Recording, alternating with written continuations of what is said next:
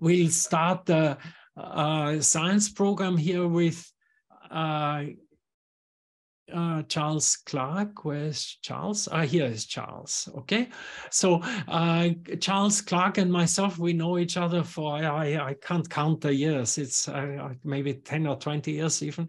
Introduced by Charles' uh, brother, and the first time we met was a dinner here in in Tokyo, and Charles Clark worked many years and is still working, I guess at the National Institute of Standards and Technology, which is a very, very large US government, uh, mainly standards organization, but linked to that also, they have a huge uh, research program. It's one of the most important science, uh, global science centers. Of course, focused to to uh, standardization, but not only this. So NIST uh, does um, uh, leading work in, in cryptography and therefore also, of course, in quantum quantum uh, computing and many many other quantum optics and many many other areas. And I had uh, Charles uh, very kindly invited me to his institute in in north of Washington, and so he showed me also his laboratories, and I can tell you they are some of the finest in the world.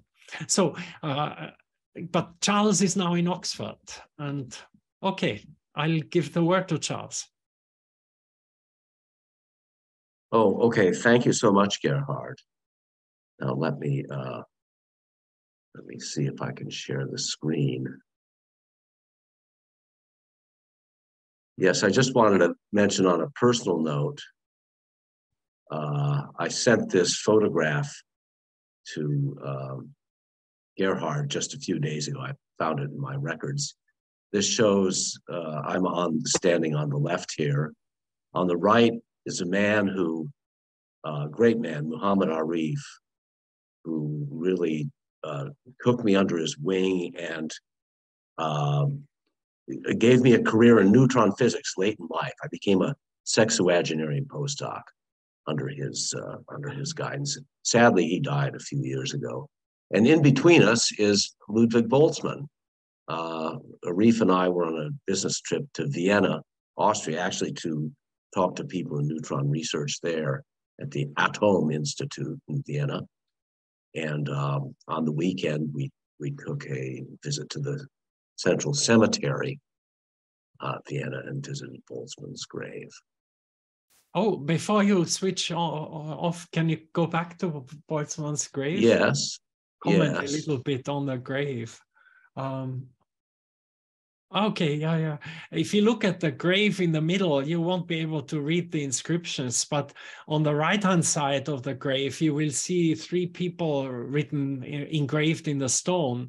And uh, these are my uh, grandfather, so the Boltzmann's son and his wife, my grandmother, and also my mother's a brother who unfortunately died in the Second World War, and my mother will is also engraved there now, unfortunately, because she died. And uh, her name, I, I I don't know if her name is already on there, but if it's not yet, it will soon be also in, in, in, uh, in, inscribed there in the stone.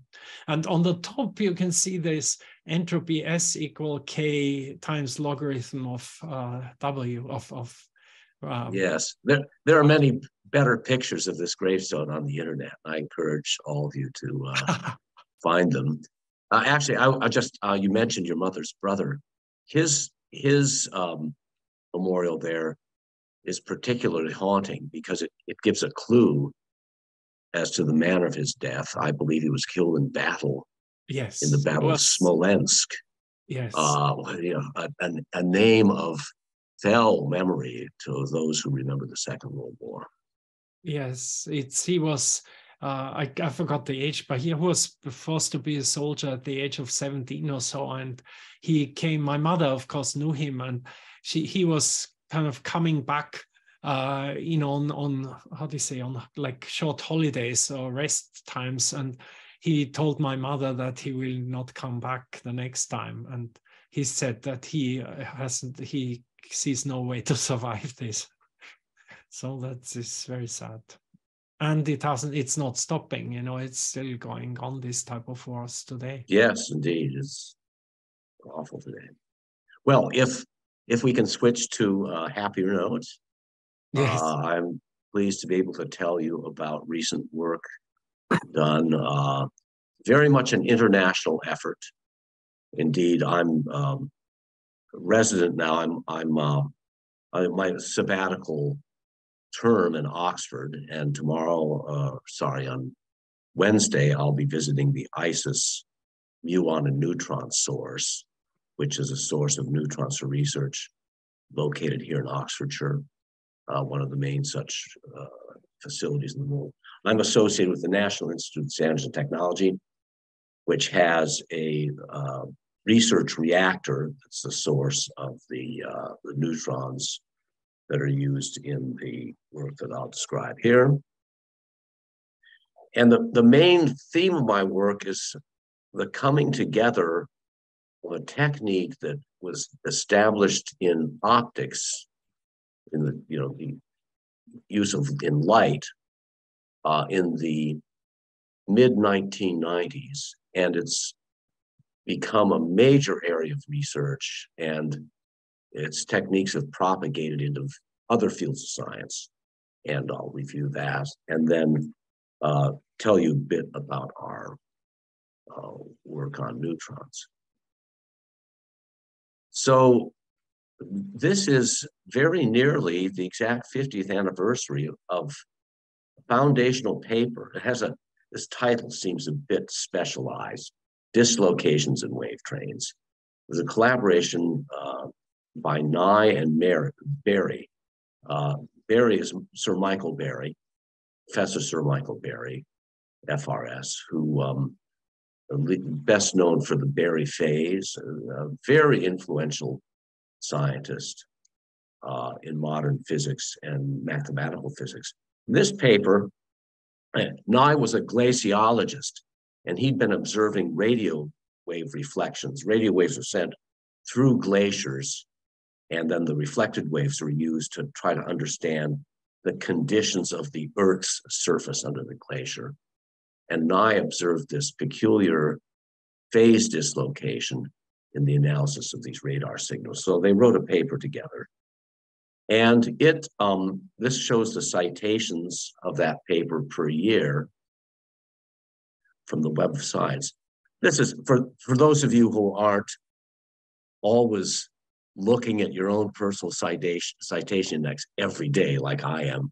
Uh, uh, the metric of, of, of scientific uh, relevance of work is, is obtained by counting the number of times that it's been cited by other papers. So if it's cited a lot, that means that other scientists are paying sufficient attention to it that they record it as a precedent in their own report of their research. So uh, this is sort of like the batting average for a baseball player. And as you can see, this uh, this paper for about 20 years went along with very few citations. Looks like a lot of my papers in that respect. And then uh, all of a sudden, in uh, about 20 years after its publication, it took off and is now the second most cited paper of Michael Berry. Well, what happened in the uh, what triggered that sudden recognition of its relevance? And this happened uh, not in the Ukraine. Second time I've mentioned the Ukraine in my presentation. A group of Marat Soskin, who died two years ago, very distinguished uh, founder of a school of optics that was located in the Institute of Physics at the Academy of Sciences of the Ukrainian Soviet Socialist Republic, now uh, Kiev, Ukraine. And here's the title of that famous paper. Uh, it's published in the letters of the Journal of Experimental and Theoretical Physics, uh, the, the main Soviet uh, Journal of Physics. And this is letter sections or for, for priority publications.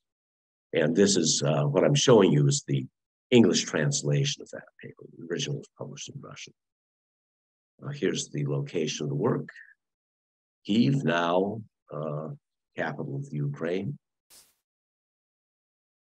And the, the work of Soskin's group uh, proceeded from a very simple experiment, uh, which is the diagram of which is in the upper left of this slide.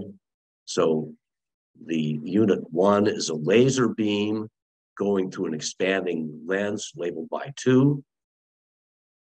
And then here, uh, it, it, this, this beam is being entered into a configuration, very famous interfer interferometric configuration, uh, the Mach-Zehnder uh, configuration, which was invented simultaneously by Ludwig Mach, who was uh, Austrian uh, physicist, son of Ernst Mach, I believe, and uh, Ludwig Zehnder, uh, German.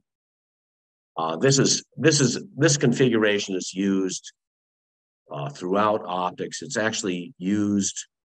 You make unknown use of it almost every day when you place a call on your mobile phone. Uh, Mach-Zehnder interferometers are used for multiplexing of uh, telecommunication signals. In any event, the, the operation of the, the, the interferometers, the beam enters this apparatus three, which is a beam splitter, and then uh, half the beam is sent down, it is proceeds to, let's see, I think it's uh, unit four. Uh, so it's somewhat blocked on my screen. Let me get out of the, uh, yes, uh, which is a mirror sent down through a beam expander uh, to a to another mirror, uh, uh, half mirror that's that reflects the that beam onto the receiving screen, and then the so-called that's the reference beam using the language of holography. The object beam is the other part of the beam that's been split off by the beam splitter three. It's uh, reflected off a mirror and focused into a braid of optical fiber.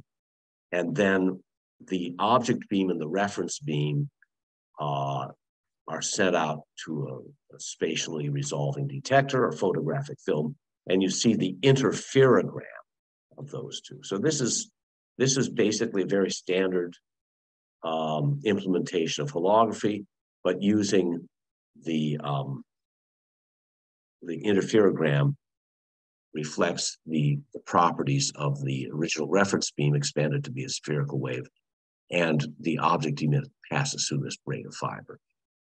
So now, if the fiber braid were just transmitting the light uh, as if as if it were pure glass, then you would see an interference pattern, famous um, structure called Newton's rings, that is the interference of a plane wave with a spherical wave. Now let me get back on full screen. And what uh, the Soskin group did was to twist this braid, just twist the braid with their hands. It's like a it's like a, a, a set of spaghetti strands. You're holding your hands. You might give them a gentle twist. And when they did that, they obtained the figure that you see here, figure B, on the left of this Newton's rings figure. I've the Newton's ring figure comes from a famous uh, textbook by uh, Robert Williams Wood. I've scaled it to match the image that was reported, that was shown in the, the Soskin paper.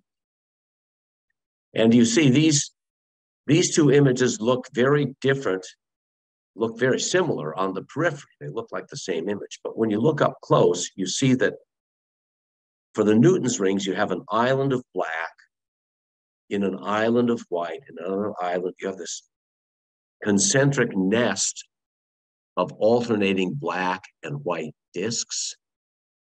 But with this twist, you see there's now one continuous black spiral in the whole figure so unlike the Newton's rings, where these, these are disconnected regions, there are now just two regions, one of destructive interference and one of constructive interference, a nested spiral.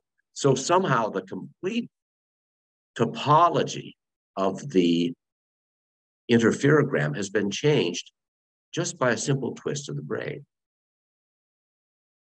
And in their paper, uh, the group of Soskin report a form of hologram that could be constructed to, to create the form of light that is responsible for uh, this phenomenon.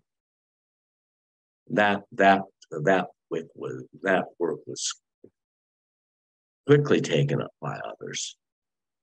And what's what's going on, the fundamental optical manifestation that's being realized there is a form of the twisting of light waves. So in ordinary light, as we use it and as as we as has been used in the history of optics from the Greeks up to the present day, uh, the way we now understand light, uh, due originally to the work of Thomas Young in the early 19th century, is as a motion of a wave.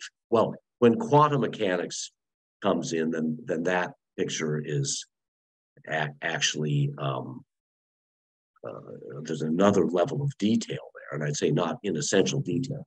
The basic uh, concept of light as a wave uh, is is accurate, and just it's the, the wave motions quantized with quantum mechanics, and the, the the form that we use in virtually every application is where the the wave fronts are are planar. So in other words, you have a, a light signal where there's an intensity that that varies sinusoidally as it as it as the as you move along the axis of wave propagation. But the wave fronts are are planes. And this this this is the same in ordinary sound. If uh, you're you're hearing me speak now, my voice has created a wave disturbance in the density of air, which is propagated to the microphone on my uh, laptop. And it's coming out either your earphones or the speakers on your laptop. And it it looks though that wave motion looks like something has basically a plane or spherical wavefront. No the the disturbance of the air is oscillating back and forth. And it forms a reg the, the oscillations can be seen as a, as the variations of the planar surface but in the theory of wave, basic theory of wave motion, it's easy to construct, construct solutions in which the, the wave varies as you go around the axis of the propagation. So you get sort of a, a screw-like motion, a helical motion. And um, this was this was known for a very long time, but it was only first implemented about 30 years ago that you can actually uh, control, you can create emitters that realize this spiral motion and you can you can create detectors that are sensitive to it. And the, the, all this is very well known in a formal sense from the uh, solution of the wave equation but its implementation in practice is something rather recent. I just mentioned a few highlights here. In light ultra cold atoms electrons neutrons and neutral atom beams this has become a major field of investigation within optics. Here's a uh, an image from a, a, review article showing the various types of uh, development in that field that have occurred since the 1990s up this is a, maybe a three-year-old uh, review and just um, published uh, well about a month ago there's a, a huge uh, new review, 110 pages with, in their words, many figures by a number of the uh, principals in this field. Uh, these three, Sarenac, Cory, Bush, Pushin, are my collaborators, co-authors of this paper at the University of Waterloo. So this is a this is um, rapidly expanding area of optical science, and um, here's, for example, um, uh, something published earlier this month in Physical Review Letters with a prospective use of this orbital angular OAM, orbital angular momentum, uh, twisted wave form of wave motion as a uh, as a prospective form of holography in applications. Now, how how so this field has evolved first from the ability to produce these twisted forms of light, and secondly, how do you detect them? So in the production, uh, there are a variety of techniques that are used. Uh, one is to use a uh, uh a a transmission a transmission plate that is shaped like a spiral staircase. So I think you you know you're familiar with spiral staircases. Here's a here's a look down a spiral staircase. The depth of the staircase, uh, the the depth of the stairs increases uniformly as a function of the angle of the step. So you just start from the top and you walk down and with steps of equal size, you there's a there's a quantity of space that intervenes between the bottom of the staircase and its top. And then with the light beam coming through this, you get a phase shift in the light that emerges from this side of the beginning of the staircase with that which emerges from this side because here from here on up light is traveling in air or in vacuum which is much the same thing in optics. And here it's gone through a material medium. Another and i would say now more generally useful approach to that is by the use of synthetic diffraction gratings that follow the uh, the discovery of the form by the group of Soskin. So this is a so-called forked dislocated diffraction grating.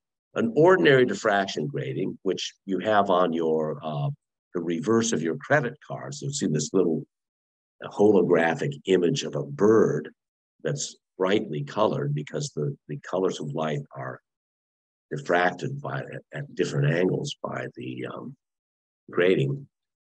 Ordinary grating consists of ruled lines that give very sharp interference fringes downstream. And the fork dislocation grating is, is very much the same uh, as an ordinary diffraction grating, except there's a, at one point you add an additional line or lines. And here's here's the uh, original image of Soskin and Company. Now below that is an image of such a grating. It's a photograph actually of such a grating that was actually manufactured by nanofabrication and used in an electron microscope. And so here the um, you're seeing a schematic. It shows the uh, an electron beam coming into that grating and then the, the part of the electron beam that is diffracted in the forward direction, the so-called zeroth order beam, just has the regular uh, variation. This L is, a, is an integer that indicates the number of, of full lines around the circle that the, the beam uh, ex executes. So the forward beam, just as of the ordinary type, it's insensitive to the to the uh, presence of this fork dislocation. But then the, the two first order beams are um, have this orbital angular momentum in them, one with a positive rotation, one with a negative rotation. And you see this, this is a uh, electron micrograph, a group of Ben McMorran of the University of Oregon that shows the the uh, the the the the diffracted rotating beams with a hole in their center. It's another more recent uh, work that shows that effect in a beam of beams of atoms of helium, the lightest, uh, second lightest element after hydrogen and the lightest of the noble gases, widely used in experimental research because of its uh, its chemically non-reactive, so that it's easy to to produce and measure intrinsic atomic physics effects uncomplicated by chemical action in uh, the noble gases. And so this shows uh, uh, results of a beam of helium, helium diffracted uh, through one such grating, showing the uh, characteristic uh, a hole in the center of the beam, uh, and also of excited states of helium and excited states of helium very impressive work. Uh, here's an, another um, set of electron micrographs from the Moore group that shows how very high values of angle of this transverse angular momentum can be programmed uh, can, can, be programmed into a light beam. So there's now uh, on the left 200 units of angular momentum of rotational angular momentum in the um, in the first uh, in the first order diffraction beam. Uh, so yeah, this qu quantum angular momentum of 200 units of the reduced Planck's constant, quite amazing. And here's even more, 800 units. Again, this is just accomplished by uh, using electron beam lithography to manufacture these fork dislocation gratings. And indeed, what's happening here, uh, I'll just emphasize, you're seeing a beam of electrons traveling through the free space, and the hole is um, the center of the hole is the axis of propagation. So these electrons, you know, the way we would describe them on the basis of ordinary experiences, they're flying through free space, but they're executing circular orbit around the axis of their general propagation. So this is not the way, well, okay, in baseball or cricket, you can throw a curve ball. And so the uh, uh, as the ball is is spinning, and so it can curve. Uh, that the effect of the spin on the air can cause the tra- trajectory of the ball to curve. But here, it's as if the ball is spiraling around the line of its propagation. So it's not even like a curveball. And it's perhaps somewhat counterintuitive to uh, think about how a particle could move like that because there are no external forces to curve its orbit in this region of um, free propagation. And one way, uh, just to use a food which I think is very popular in Austria and other countries. Uh, I think you've all seen, uh, surely most of you have seen uncooked spaghetti strands. You may even have had a kitchen container in which the strands of spaghetti are stand up and they they splay around. They sort of they make that you can see they make us they make an apparent spiral around this common core. So if you think about um, here, here, here's here's an example of that used in an artwork at Fermilab uh, an apparent spiral motion that in, in fact is a static display of, rect, of rectilinear rods. Uh, here's one that's on the rooftop of the National Gallery of Art in Washington, D.C., the same effect, the spaghetti. So if you think of a, um, see, I, have, I think I have, I had another illustration that I passed it. Uh, if, if you think about particle motion just going along straight lines, then in the quantum picture, you could have a superposition of trajectories with a, a phase, a different phase on each trajectory. And so this, this shows that there is a, um, a very direct optical analogy between the ordinary rectilinear propagation of light and the spiral motion that we're able to create in it using uh, phase plates and uh, diffraction gratings. Well, now, the neutron. So the neutron is a particle first discovered in 1932. Uh, well, this these slides are made for a physics audience, so I think perhaps the uh, I'll just give a very high level uh, descriptions. It it this was a this was a discovery that was that in detail it was completely unanticipated. Discovery of a new a particle that's a constituent of virtually every atomic nucleus the atomic nuclei are built of neutrons and protons. The proton has an electric charge, the neutron is electrically neutral. Yet, in some sense, uh, or in a very deep sense, these two very different particles are seen as different states of a common quantum system, even though one has a charge, the other has no charge. One lives for a very long time 10 to the 20th times the uh, lifetime of the universe. The other is uh, lives only for 15 minutes. Uh, and the, the so the, the neutron has the very special property of electrical neutrality, which gives it the ability to penetrate virtually all matter. This penetrating ability was notably exploited by Enrico Fermi. So the discoverer of the neutron, James Chadwick, discovered in 1932, received the Nobel Prize for the discovery in 1935.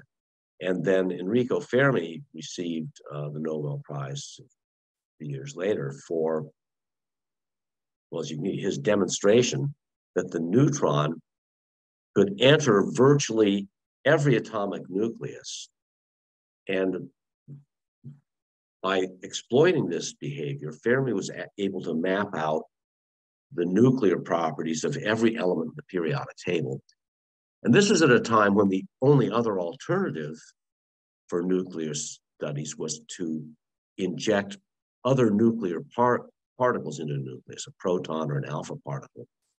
And because of the Coulomb repulsion between the charged proton and the charged nucleus, uh, at that time, the um, the use of protons or alpha particles to penetrate the cause nuclear reactions was required re, was restricted to um, initial proton energies of about 10 million electron volts. Accelerators could not operate in those days, could not operate at such high energies.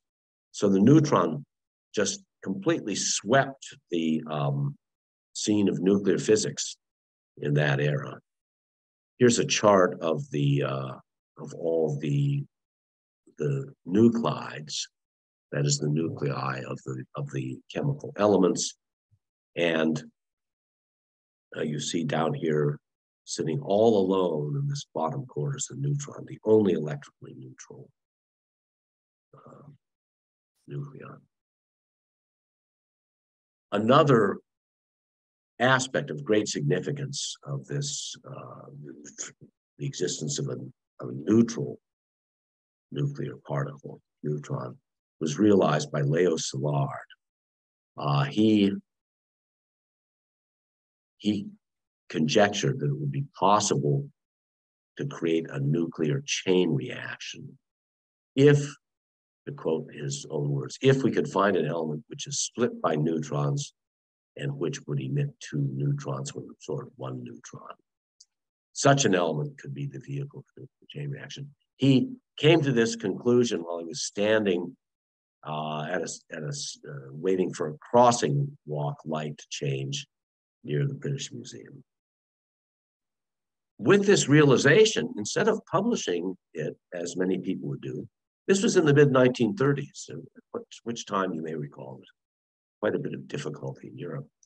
Instead of publishing his uh, idea, he began work in secret on a British patent, uh, which was granted in March 1936 and was assigned by Szilard to the Admiral Department. That was the main sponsor of scientific research in the British military establishment. Admiralty Department equivalent of the United States Navy. And this patent was held secret for the for about 13 years afterwards. Finally published after the war. And um, uh, went to the United States uh, in the mid 30s and he became very effective proponent of the rapid exploration of nuclear energy. And uh, the US government authorized this. And uh, Enrico Fermi and his team, including Szilard, built the first nuclear reactor. And we're now in the age of quantum computing. I don't know, many of you may be aware of this. this the, the idea of a quantum computer uh, and the first important uh, application of quantum computing to factoring, finding the prime factors of large number. Uh, that was that th those uh, elements were revealed in the early 1990s, and uh, we're still working on that. You know, there's we still haven't really realized a full functional quantum computer more than 30 years later, about 30 years later. And nuclear physics took 11 years to go from a basic discovery into the most powerful source of energy yet known, the implications of which we're still living with. And uh, it again, it um, this is all due to the fact that the nuclei can transmute elements. So even the neutron, even the slowest type of neutron that comes out of a nuclear reactor can, can, can change the elemental composition of matter that it strikes. This makes it useful for a wide variety of applications and analytical studies, and including studies of materials. Uh, it is capable of uh, applications in material science no other particle can accomplish. This is some recent work by my collaborators on the understanding of new magnetic structures of materials, skyrmions. So the neutron has uh, wave properties, and here that those are demonstrated very vividly by this this pair of photographs taken by my colleague Daniel Hussey at NIST. Uh, these are two images of the same object. The object consists of two Asiatic lilies in a lead cask. And on the left, you see that vignette photographed with a mobile phone camera from above. There's two flowers in the lead bucket. On the right, the same object. And now you're seeing uh, a neutron radiograph. So uh, behind this bucket, that is looking into the page of the image, uh, neutrons are coming from behind the image through the lead bucket. They're scattering off the flower, and then uh, the camera that produced this image is just a neutron, a spatially resolving neutron detector that's viewing that's viewing the scene, much like you're viewing that right now, the light coming out of your laptop or your other whatever appliance you're watching this uh, presentation on. And do you see? You can see the veins inside a leaf of a flower inside a lead cask. You can see the stamens and the pistils of the flower inside the blossom inside the lead cask by the neutron contrast. So what's what you're seeing here is um, these these neutrons, by the way, are all have at room temperature, so they're very low energy neutrons coming out of the reactor, and they only scatter elastically from the um, uh, from the neutrons. I see uh, Eberhard Lange is showing a, an image. Yes, those are flowers Is it, are those also radiographs? Um, and what you're seeing here is basically there's a yeah yeah Eberhard, do you like to explain what you showed us for a moment? Yeah, these are also radiographs. I just bought them in the Museum of Natural History in Oslo, and I just thought it fits to the topic. yes, thank you, thank you. So what what's the um, the effect that's being seen here is um, for X for X-rays, heavy, have the heavier elements have lots of electrons, and those are all absorbed by X-rays. So you know if you have a the reason we this lead cask is here is because it stops all radiation of charged particles or electromagnetic radiation. The lead is basically transparent to neutrons, and it turns out that, that hydrogen, the lightest element, has a, quite a larger neutron scattering cross section than does lead. So just by, so basically, both the flowers and the lead cast are transparent to neutron radiation, but there's a differential in their in their scattering cross sections, and you can exploit that to reveal structure of of um, materials that are otherwise shielded from view by lead. Uh, here's another, uh, just one more example of that. Here's a mocha pot. I think many of you are, yes, those of you in Austria. Well, I guess this is largely associated with Italy, but I'm sure many people, many of the European audience are familiar with this mocha pot. You have some water in the bottom, and then there's a disc that contains ground coffee. You put this on the stove top. Well, let's just let it speak for itself. Now we're watching again a neutron radiograph made at the Paul Scherrer Institute in Switzerland, where a neutron beam is, is flooding through this um, mocha pot. You see, there's something going on here. There's this, here's this black in the bottom. The black is not espresso, it's just water. And water is has it has this high uh, scattering cross section compared to aluminium. So you're seeing the water inside the uh, the the pot boiling up, being forced up through the espresso grounds to make this delicious coffee. And once again, uh, the coffee here is black, not because of the color of the espresso, but because it consists of water and is uh, strongly scattered by neutrons. Right, well, uh, enough about this. Uh, so just a brief, a brief interlude about this, the Fermi team that was responsible for transformation development. It consisted of a large number of um, scientists uh, displayed here, and one of them, there's only the youngest member of the team and the only woman on it is this Leona Woods, Leona Woods Marshall, as she was called at the time. And she wrote this book, The Uranium People, which is wonderful, you know, entertaining, lucid the history of the project. And in this book, she um, she makes some comments about Leo Szilard, the inventor of the nuclear uh, uh, chain reaction concept. Now, Szilard is sitting, is standing next to her in this picture.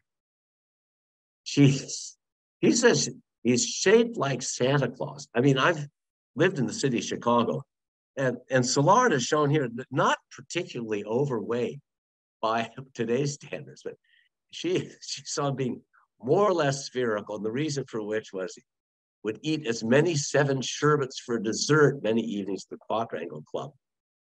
And another comment about his dining habits, he was served asparagus once at a dinner party. He cut off all the tops of the asparagus spears and put them on his own plate. And when asked about that, uh, he replied that he liked the tops the best. Very uh, colorful person. So uh, in the, um, I guess you from from the, these demonstrations that I showed, I, I think you get the sense that neutrons are highly penetrating, and uh, they they actually behave the, the left image shows just the ordinary optical image of neutrons, light scattering from flowers, you can see. And now on the right, you see that they, they also exhibit the properties of light in revealing structure that we can perceive. And indeed, uh, neutrons do operate much like uh, they, they are governed by neutron optics in which they propagate like light through matter, but with an index of refraction which differs from va vacuum by a part in a million, versus the index of refraction of glass is 1.5, whereas the index of refraction of vacuum is 1. So in contrast to normal optics, where the indices of refraction are comparable, the difference between the indices of refraction from that of vacuum is comparable to 1. For neutrons, it's always just about a part. And that that that is uh, that's why we can actually make spiral phase plates uh, that uh, that that behave as ordinary optical elements for neutrons. So here's a uh, early implementation by our group that, that did a holographic recording of a so-called spiral, spiral phase plate milled out of aluminum. Got a lot of attention, uh, widespread news attention. See, I have a question in the chat. Oh, not um, the uh, uh, so this this spiral phase plate gave hints of the um, you know interferometric contrast of the neutron, but uh, there's a problem in that the um, the intrinsic coherence of neutron beams uh, is very small. Whereas with a laser, you can have a light field that's coherent over uh, an area of many square centimeters, even larger. Uh, neutron beams remain coherent, meaning they, they retain their interference properties only over very small dimensions. So to deal with that, we have devised um, I'll just conclude with uh, recent uh, results published this past November, where uh, our group, and this is work done by the, the uh, people at the University of Waterloo, Sarenac, Henderson, and, and manufactured a um, synthetic hologram consists of six million of these forked diffraction gratings following the prescription of Soskin, but tailored to neutrons. So you see an array here. So the, this is a hologram in which the, the unit cell, the hologram, contains this forked diffraction uh, manufactured silicon nitride dislocation grating made by microfabrication, but then it's multiplex. So there's six million of these that cover the neutron beam. So now with the, the coherence length and the, the critical dimensions, the diffraction grating, are matched to the coherence length neutron beam. And then uh, you expect to see uh, the vortex structure of, so the beam comes in, it, it, it interacts locally, neutrons interact locally with just one of these diffraction gratings. But then when you look at the far field image, you see the, uh, the true vortex structure. So this is uh, sort of the first step towards the development of spiral motion of neutrons in a way that's well matched to exploring uh, characteristic structures of materials helical structures of materials that occur on the atomic scale. And um, yes, it's very much a first step, but I think a, a new advance in the direction will open up the potentiality that twisted light has given for optical investigations of materials to neutrons. And that's my message for today. Thank you. Oh, thank you so very, very much, uh, Charles. This was really fantastic. Uh, maybe I've overlooked, maybe you mentioned, but uh, on your last slide, uh, there's Anton Sly, uh, uh, Zeilinger here. If you look, edited by Anton Zeilinger. Yes. And he did, before he entered, you know, his Nobel Prize winning field, he worked on in the 1980s or so he worked on uh, neutron interference. You're you're you're absolutely right. That's a very good very good spot. And the photograph that i showed you of uh, Arif and myself at uh, ludwig boltzmann's gravesite that was taken in a course of a visit to vienna in which we visited uh, zeilinger yes who is stationed in vienna and then another man i must mention helmut rauch uh, an Austrian that, physicist. He, I think that was his PhD supervisor, no? I That's think. correct. Uh, Rauch um, was, was he mentions uh, him PhD at the beginning. And Rauch Rauch was the the great pioneer of neutron interferometry. So the classical neutron interferometer it was shown in um, shown in uh, classic neutron interferometer, which is shown in this in this diagram. This is the Mach Zehnder config, yeah, yes. with the Ludwig Zehnder, also an Austrian. Uh, a beam goes into a silicon crystal. Uh, part of it is transmitted, part of it is, is Bragg reflected. And then the, you get this mixing of the two paths of the beam in the neutron apparatus. And, then, and Helmut Rauch was one of the pioneers of the implementation of this very Mach Zehnder type uh, configuration in neutrons, and that the the early uh, work of Zeilinger on the quantum properties of neutron uh, used used uh, a device in this framework. So thank you so much for that comment. Yeah, he mentions Zeilinger in his uh, Stockholm uh, Nobel Prize uh, talk. He gives, a, I think, one hour, two hour talk, I think. And at the beginning, he mentions Rauch as his, uh, you know, inspiration at the beginning of his career. Yeah. Yeah, we visited Rauch. Truly a great man, fine gentleman. I think he died about two years ago, I believe, oh, at the age of, in his late 80s. So um, yeah, he must have been quite uh, old because he was supervised. He, he certainly left a great legacy, producing a Nobel laureate. Right? Oh yeah. That's not not every one of us can say that our student got a Nobel Prize in physics. Oh yes. In some also, sense, it's a better tribute.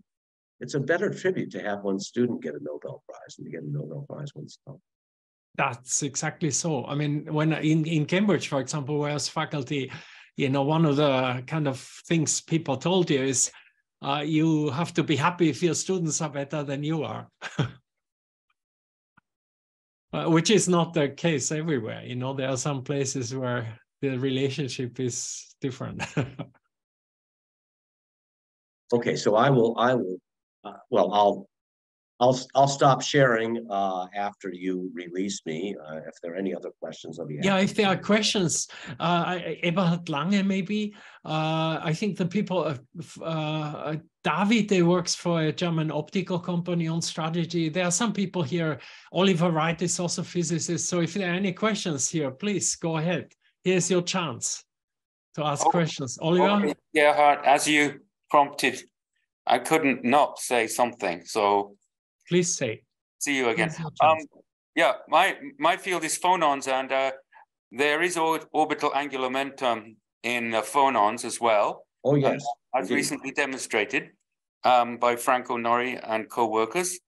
I just wondered if anybody had tried scattering some uh, optical um, vortex beams or angular momentum beams from acoustic angular momentum beams. That sounds like a double, uh, double, oh. doubly difficult subject, but that could be interesting to do Brillouin scattering of uh, orbital angular momentum sound waves from orbitally angular momentum um, light waves. Yes. So uh, I, I, I think I think that's a, a great idea. Uh, I how to, I mean, you, you need to have a, um, Well, what are what are the media? What's what's the nature of the media in which you get natural orbital angular momentum uh, phonons? I think you can do it in anything. Mm-hmm. I just probably in in a yes, I yeah with with a with a a phased array excitation of some sort. So that I guess you would have to uh, in in ordinary ordinary uh, just without without a, uh, a, a twisted drive of the phonon waves. Uh, you know, just in thermal equilibrium, you just you just see the ordinary type of phonon, I guess. Well, I was thinking of you know using transducers, uh, as you mentioned, phased array. Yeah, well, that I mean that's certainly that's a great idea. Yeah, and um, people have got and, you know, and actually, you know, uh, now that you mention it, the um, looking at the the phonon density of states is a very important application of neutron scattering. So uh, may, maybe this, maybe maybe that would be a natural vehicle for investigating chiral materials is by looking at the interaction of uh, neutron, neutrons with uh, the excitation of a, a, spiral phonon wave. I, I uh, you've published this work. Yeah. And, and indeed, in the um, I, I visited Michael Berry just two weeks ago. I'm, I'm resident in Oxford now. I went out to Bristol for a day. I gave a version of this talk. And he pointed out to me that in the paper by Nye and Berry, there was a suggestion about that you could use piece of cardboard to, to see um, these orbital angular momentum effects in ordinary sound waves. But they never they never took that seriously enough to implement it. So I think there, there are hints in the the Nye and Berry paper that this is a phenomenon that would have a very strong manifestation in acoustics. So I will certainly look up your paper if you could possibly uh, enter the reference in the chat, or I'll just I'll just search on your name, I guess. Uh, it's not my paper. oh, I'm oh, just. But it's work of work of Franco Nori. Did you say? Yeah, it's. Uh, yeah, I can put it on the chat for you. Oh, thank you so much. Yeah, no problem. Okay. Any? Yes. Uh, Oliver, is uh, are there other questions? Eberhard, maybe, or uh, Davide works for a German optical company. May ha he may have some questions, or uh, Professor Fukumoto from Kyushu. He's mathematician, so it's uh, he may have some questions. Eberhard, do you have questions? Yeah. I mean, you're deep in optics. Yeah, so so I'm I'm mainly now into um, uh, straylight in non-imaging optics, so not into this sort of more like hardcore physics, but uh, we have, of course, contacts to um, uh, companies that make um, nano uh, structure printing, 3D uh, printing, and uh, yes. would this be suitable for generating these gratings uh, that you used, or which kind of technology did you use? I think lithography, I guess, but what other materials that could be used for generating this sort of Newton uh, Yes, so um, certainly uh, uh, the uh, the making synthetic gratings for light uh, is a long practice, and I think the um, uh, possible areas of interest would be for um, say e extreme ultraviolet lithography. So one could certainly manufacture uh, use nanofabrication to manufacture optics for the EUV wavelengths. It's been done for X-rays as well, but EUV for wavelengths of um, 10 nanometers or, a fra fraction of a nanometer to a few nanometers, which is a um, being widely used now. It's the most advanced, the, the form of semiconductor lithography uh, that yields the smallest critical dimensions uh, is EUV lithography using a, I think, a, typically a 13 nanometer light source. And this is this has been implemented by the Taiwan Semiconductor Manufacturing Company and by Samsung that are they're running these uh, three to five nanometer critical dimension production lines. So there could be, um, uh, I, I said it'd be very much a research concept as to whether there'd be an advantage of using twisted uh, extreme ultraviolet nanometer wave radiation for patterning. I mean, I don't, I don't know what the answer would be, but that would be something um, where uh, an optics company would have the capability. Yeah, you it, it, it, would require uh, patterning on the scale on the scale of um, a few nanometers. Uh, but that's that you know that's uh, those are critical dimensions that are readily accessible to uh, electron beam lithography. And yeah, we we we've demonstrated that um, uh, UV lithography and the manufacture gratings. So yeah, I I think that would be a um, a worthy I, I, can I can send you some review articles if you like, and it would be a worthy subject of interest in a research department of an optics company working on working on modern lithography, in my opinion. Uh, thank you. Thank you, Eberhard. Yeah, Davide, I think he has to go, but Davide sent me, a, maybe you've seen it, he sent a message. He also wants to come, and he worked for the German uh, company Zeiss, you know, optical company, but I think. Oh, okay. He works with I, I, ASML apparently, but I think he has to. Go oh yes, I yes yes yes. He works on okay, the on I, behalf I will, of. The... I I will um. Well, I will I will I will send to you, Gerhard. I'll send a little summary response to these comments, and if you could if you could circulate it to the Oh yeah, I, will forward it to everybody who's here today, everybody who registered today. Okay, thank you very much. Well, thank you very much, Charles. This was really, really uh, super interesting, very, very interesting. Thank you so much for taking uh, the time and your energy for this, and also well, your... thanks to all for coming to to see me. And uh, so tomorrow morning we have another session with uh, one of your friends. I think Charles, you know her very well. Um, so if you have time, it depends on the times. Uh, uh, it is like we have tomorrow, depending on the time zones. We have oh, another session. It may, it may be later today for me. Oh, okay.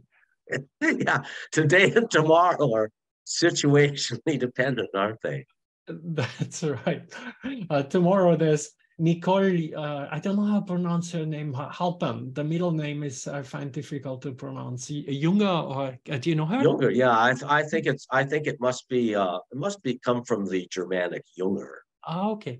Uh, Nicole, she very kindly also offered to talk tomorrow on her uh, favorite topic, quantum steampunk. So in Oxford, it would be uh, midnight. So if yeah. you can manage that, you are very welcome to come. Or, uh, okay. and in Germany, I think it'll be 1 a.m. So uh, if any of you is can't sleep, you'd be very welcome to join as well to, tomorrow. Um, and but the big thing is I'm uh, working on setting up a much organizing a much bigger Boltzmann forum uh, next year. Uh, actually, two for next year. And I may develop this platform and maybe also one in autumn. Thank you all very much. Oh, thank you for organizing this. It's a great pleasure. Thank you. Bye bye. Thank you. Bye. Thanks bye -bye. a lot.